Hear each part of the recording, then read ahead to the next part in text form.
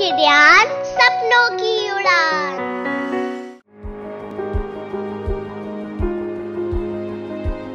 Hello दोस्तों, मेरा नाम है मोनिका और आज मैं आप सभी के लिए लेकर आई हूँ एक कहानी, जिसका नाम है मूर्ख को शिक्षा मत दो।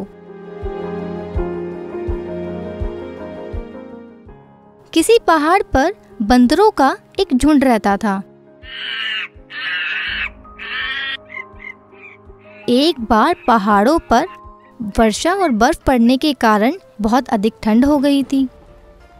इस ठंड से बचने के लिए बंदरों ने ऐसे फल को आग समझकर इकट्ठा कर लिया, जिसकी शक्ल आग से मिलती थी। इस आग को सुलगाने के लिए सभी बंदर फूक मारने लगे, बल्कि एक बंदर तो आग समझ के चारों ओर से तापने के लिए बैठ गया। बंदरों को देखते हुए एक पक्षी बोला, अरे, तुम सब पागल हो गए हो क्या? ये आग नहीं है। ये उससे मिलता जुलता फल है। भला इससे सर्दी कहाँ रुकेगी? तुम लोग तो किसी पहाड़ी पर या किसी गुफा में छुपने की बात सोचो, क्योंकि अभी तो बर्फ़ बहुत पड़ने वाली है।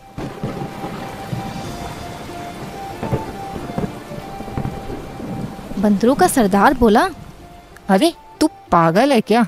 और हमें क्या समझा रहा है? हम सब जानते हैं। पक्षी ने एक बार फिर कहा, अरे भैया, मैं तुम्हारे ही हित की बात कह रहा हूँ। तुम भयंकर ठंड से बचने के लिए कहीं छिप जाओ, नहीं तो इस ठंडी सर्दी में मारे जाओगे। पक्षी की बात सुनकर बंदरों को क्रोध आ गया।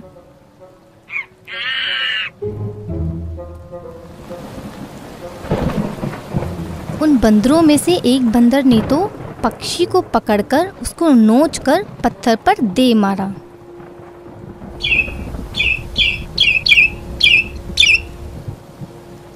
यह मिला था उस बेचारे को फल, शिक्षा देने का। तो इस कहानी से हमें यह सीख मिलती है कि मूर्ख को कभी शिक्षा नहीं देनी चाहिए। इसका कोई लाभ नहीं होता। तो ये थी आज की कहानी। सुनते रहिए किडियान सपनों की उड़ान।